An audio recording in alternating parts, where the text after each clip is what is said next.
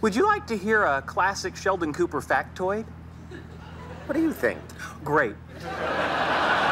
I've been doing some reading about vehicular safety. Did you know that the highest number of drowning accidents happen on or around boats? Interesting that you would bring that up when I might go work on a boat. Well, that's the thing about factoids. They're interesting. I know what you're doing. You don't want me going on this research trip because you're afraid to be alone. Well, I'm not afraid to be alone. On land. on the sea, it would be terrifying.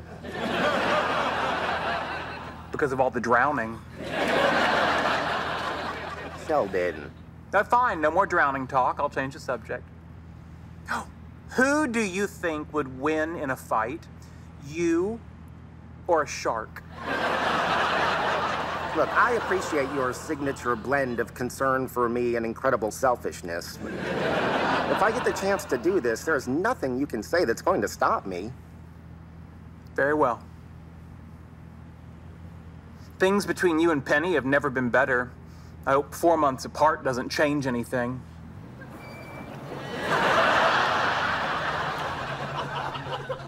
I should have opened with that, huh?